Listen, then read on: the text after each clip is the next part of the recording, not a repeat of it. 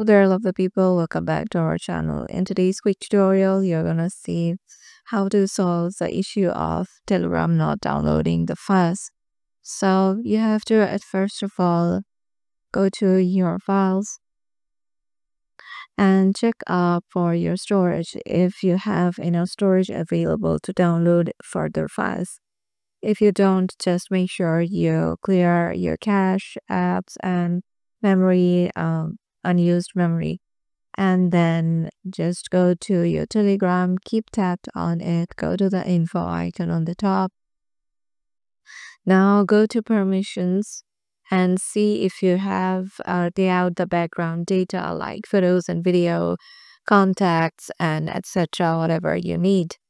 And the last but not the least thing you can try is open up your Telegram and uninstall and install it again and log back in with your credentials.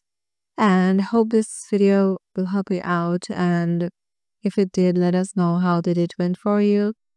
And we'll see you in the next video.